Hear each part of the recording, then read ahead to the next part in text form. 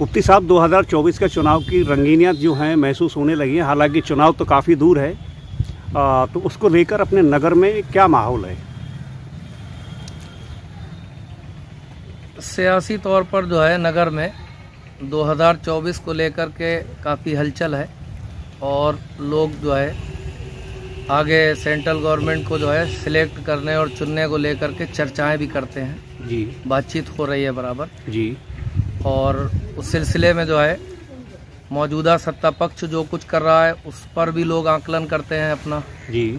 और उनके लिए जो है जो विपक्ष अपना प्रयास कर रहा है जी। उस पर भी जो है लोगों के बीच में चर्चा होने लगी। है अच्छा मतलब ऐसी क्या खामियाँ हैं जैसे मतलब भारतीय जनता पार्टी तो अपने नौ साल का विकास गिना रही है।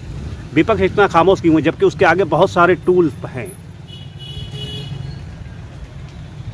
देखिए भारतीय जनता पार्टी जब सत्ता में आई है जी।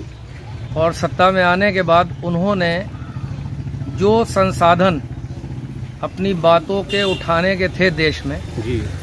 उनको बहुत ज़्यादा जो है डेमोलाइज किया। जी। और कहीं ना कहीं इस तरह के जो स्टेज थे उन सबको जो है उनके अंदर भय पैदा हो गया। कि सरकार की आलोचना अगर करेंगे तो हमारी खैर नहीं है। जी। तो कहीं ना कहीं जो है मौजूदा सत्ता ने जो है विपक्ष को संसाधन विहीन कर दिया। जी। वो कह रहा है अपनी बात और बराबर प्रयासरत भी है और बराबर कोशिश भी कर रहा है।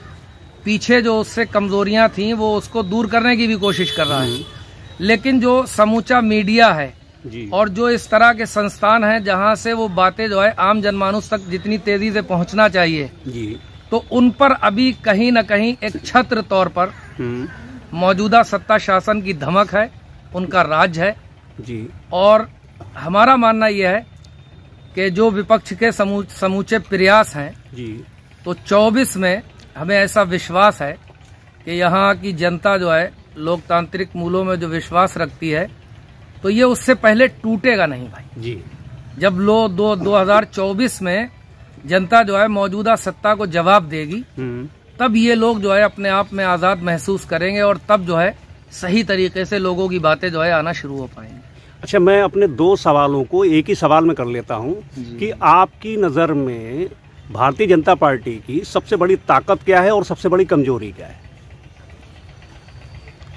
भारतीय जनता पार्टी जो है वो हिंदुस्तान में जो है हर स्तर पर इलेक्शन होते हैं। जी। तो वो हर वक्त जो है इलेक्शन मूड में रहते हैं। जी। संगठन की ताकत के साथ पूरी सरकार हो स्टेट सरकारें हों उनकी हम्म, उनके मंत्री हों तो वो ये समझते हैं कि पूरी जो भारत की जनता है जिस स्टेट में वो काम कर रहे हैं या सेंट्रल गवर्नमेंट में काम कर रहे हैं हम्म, उनके पास अगर कोई ड्यूटी है नंबर एक पर सबसे हम्म, ज़्यादा जी। तो वो ड्यूटी सिर्फ़ यह है कि वो पूरी सरकार सारा मंत्रालय सारा कैबिनेट स्टेट सरकारें हर वक्त इलेक्शन मूड में रहती हैं। जी। और इसका कहीं ना कहीं उनको लाभ भी मिलता है। जी। दूसरे लोग इस तरह की पोजीशन में नहीं होते हैं जब इलेक्शन का समय आता है जब वो तैयारी शुरू करते हैं। जी।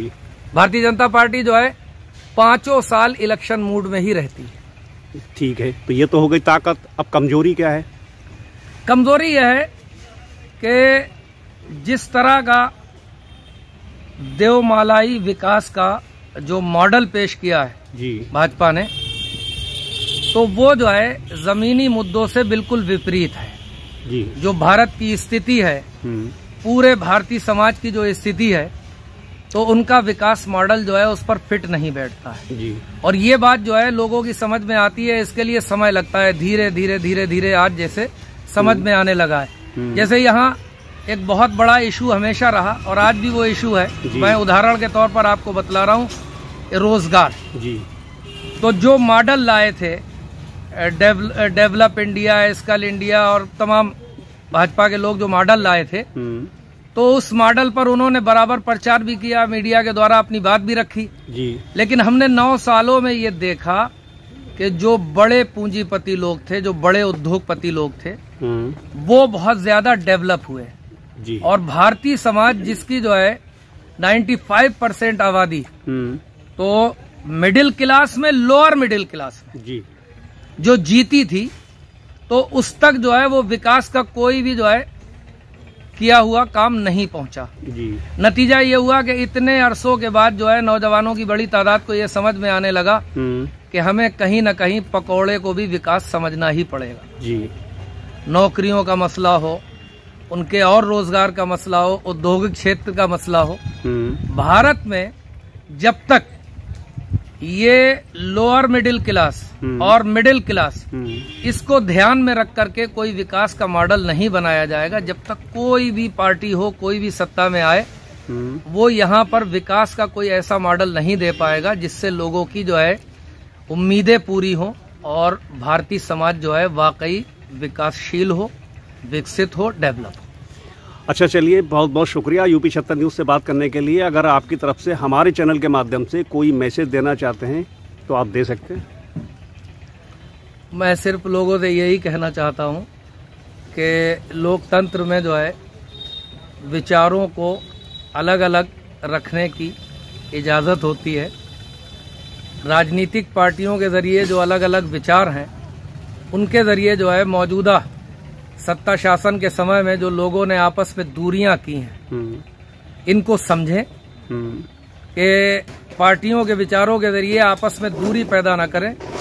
हमारे भारत की खूबी यह है कि हम लोग जो है अलग अलग संप्रदाय अलग अलग धर्म अलग अलग क्षेत्रीय हमारी जो है विशेषताओं के साथ हम्म, पूरा समूचा जो है भारत इतनी विभिन्नताओं के साथ एकता में अनेकता की खूबी रखता है। जी। हम आपके पाठकों से यही कहना चाहते हैं आपके देखने वालों से कि वो जो है भारत की इस खूबी को नष्ट न होने दें उसे बचाने के लिए हमेशा खड़े रहें।